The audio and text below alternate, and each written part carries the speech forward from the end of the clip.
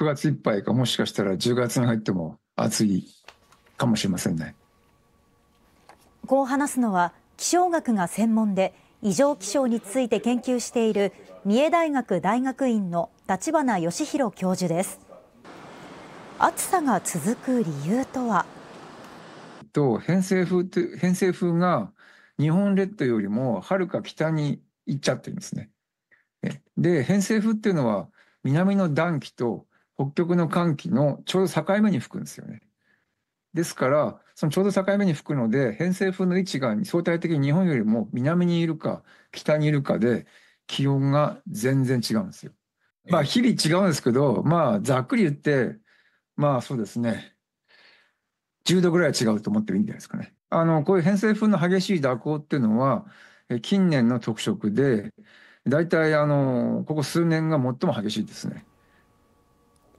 立花教授は地球温暖化の影響で北半球全体の気候が変わり日本付近では偏西風が北に大きく蛇行していることが暑さの要因の一つだと考えています。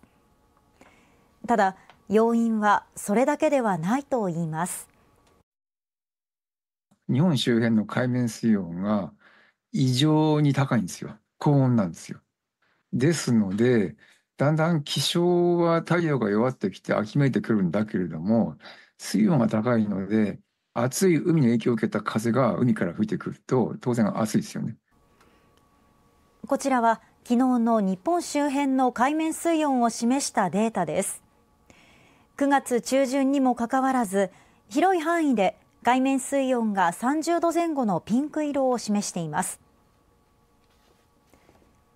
2年前と比べるとそのピンク色の範囲が広がっていることがわかりますなぜ海面水温が高くなっているのでしょうか？一番わかりやすいのが猛暑です、ええ、678と延々と今年は暑かったですよね。であの暑いと海の温度も上げます。日射がいっぱい来ますから海の温度上げますんで猛暑によって、まあ、記録的な猛暑によってあの水温も上げたと。で一旦水温上がるとなかなか水温下がらないです。この傾向は来年以降も続くのでしょうか？これからも偏西風の激しい蛇行と北へのずれのような年、つまり今年のような年がこれからも続く確率が非常に高いと思います。もっと暑い時が来るかもしれませんね。下手をすると40度を超えるようなことが起こるのが異常じゃなくって、まあ、よく起こる現象だと。また40度超えたかとかとこういうになるかもしれませんね。立花教授は異常な暑さは景気にも影響を及ぼすと危惧しています。